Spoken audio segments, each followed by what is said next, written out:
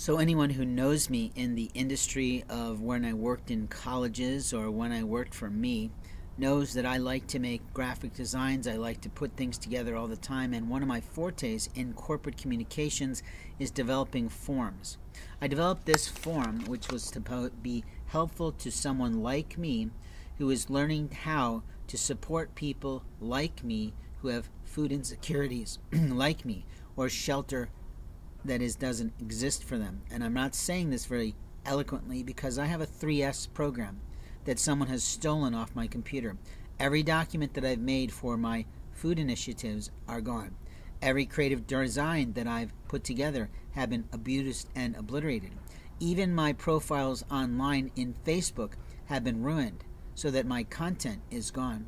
That is totally an attack of an illegal and immoral police officer or older sibling or brother and openly my biological siblings know better than this. They're more aware of laws than they think they are, but they also know that they're not above the law.